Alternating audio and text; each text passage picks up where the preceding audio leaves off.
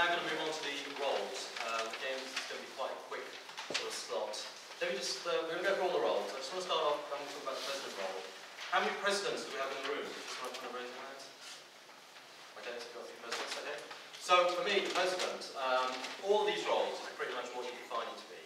Um, so this is just a view, but the key thing is to make sure you get a consensus within the committee of what you think the individual roles are. But me, the president is important because it really does set the tone. It sets a tone from the membership perspective, from the committee perspective, and also from the area perspective. And what I mean from that is, every club meeting you have, if you're a president, you're going to be opening that meeting. So you're going to be there in front of a group of all the members, or even guests. So how you set the tone there, how you behave, and how you act, and how you infuse the people there, that's going to filter right the way through. So have a think about how you want to start the meeting. And, and play with it as well. Try different techniques. You could start off talking about the Toastmasters history. You could start off talking about the theme of that meeting. You could talk about the leadership and the educational programs. But have a think, and the great opportunity is every meeting can be different how you start. But from a membership perspective, you greatly influence them as you start the meeting. Secondly, from a committee perspective, clearly people are going to be looking for you for direction. Well, what is the culture we want to have agenda for the committee? What do we want to do this year? Do we want to have a theme? I had like an educational excellence theme during my years as president. Um, I know other presidents had uh, like a work theme, getting people back to work, that sort of thing like that.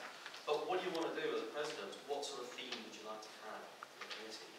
Um, the other aspect of that, I would say, is to make sure you really intervene when, because your job is really to get the teamwork happening, to make sure that people work into this and having together. And, and if people are not, you know, if there's some discord or there's some dissatisfaction, try to intervene and try to understand what the issues are, try to get under it. But really, you've got to get the team working together. Um, because if the team working, uh, if the team workers are happy, then they're going to be more effective. Um, the other thing I'll say is to keep an eye on this really, DCP. So you might want to be tracking that maybe at the end of the month and say, well, how are we on this? How are we doing our DCP plan? Have we got enough people passing through the CCs, the CLs? What about the training? So you might want at the end of the month, I always say the last day of the month, you should really have a snapshot view of where you are with DCP. I'd say is with the area governors. So make sure you've got a close relationship with the area governors because the area governors on average manage about five to seven clubs themselves.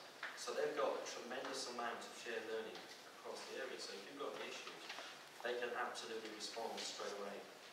Um, not going to know everything, going to know everything. So they're going to obviously consult other area governors, other divisions, right across the district, right across the globe. So there's a great network of individuals. So what I'll do is keep close with your twice a year minimum that we'll be sitting down with them anyway to go through um, the, the report uh, in terms of progress and, and, issues. But try to keep, the more you put in, the more you get from the end. government, the more you get out. So that's a bit of a short view on the role of the president.